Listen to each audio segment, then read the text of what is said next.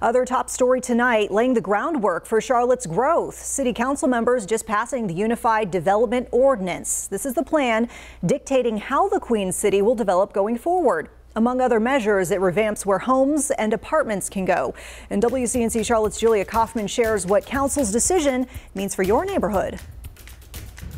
This vote was about seven years in the making. The UDO passed six to four, and while some council members applauded the plan for increasing housing and its affordability, others argued it does the exact opposite. What are we doing about our top priority, which is to protect or expand the stock of affordable housing? Councilman Edmund Driggs voted against the plan. It allows for multi unit housing like duplexes in more neighborhoods by eliminating zoning for single family homes only. Driggs says he's already seeing petitions for multi-family buildings, but they come with a steeper price tag. He argues higher density doesn't equal affordability. It overcrowds our infrastructure, which we've also started to see. It's like a gold rush. Councilman Matt Newton thinks having more duplexes and triplexes will make neighborhoods more expensive because it may drive up property values and taxes. This uh, UDO, uh, which codifies the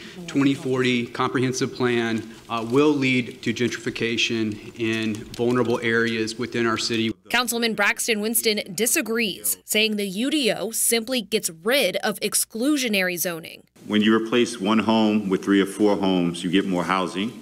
Um, when you get more housing, you can supply more demand. Uh, when you better match supply with demand, you get more price stability. Several members tempered their vote of approval by saying the plan is a working document, meaning City Council can make changes as needed before it's solidified. We have the time and the flexibility to continue to work on it. The UDO and its zoning changes will go into effect in June of next year. In Charlotte, Julia Kaufman, WCNC Charlotte.